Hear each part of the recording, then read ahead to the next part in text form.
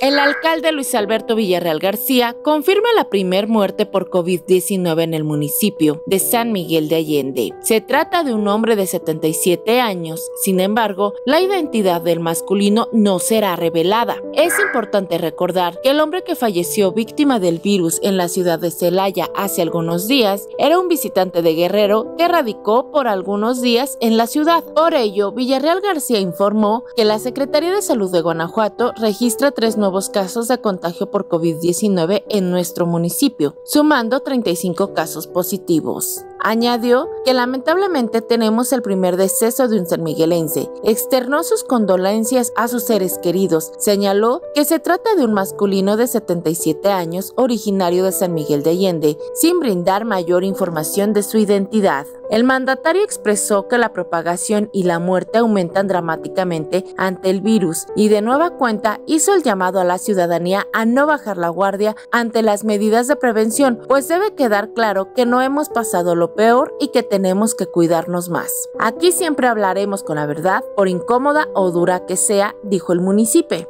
Añadió que en las próximas horas informará de nuevas medidas de prevención, contención y atención ante la contingencia sanitaria para el municipio, mismas que serán avaladas por los representantes de la jurisdicción sanitaria número 2 y por el CAICES. Acciones que protegen la vida y la salud de las y los sanmiguelenses, pues sin duda no habrá recuperación económica a pesar de encontrarse el municipio en la fase cero en el regreso de actividades de la nueva normalidad. Se sabe que el primer sanmiguelense falleció en el Hospital General Felipe Gedo Varganes, quien se encontraba en el área especial de atención a pacientes con COVID. Es importante señalar que el hombre que murió hace algunos días en el Hospital General de Celaya por el virus no era de San Miguel de Allende, pues se trató de un visitante originario de Guerrero que arrendó una vivienda en el municipio. Para el sistema de noticias de TV Independencia, con imágenes de Juan Pablo Fiscal informó Gladys Padrón.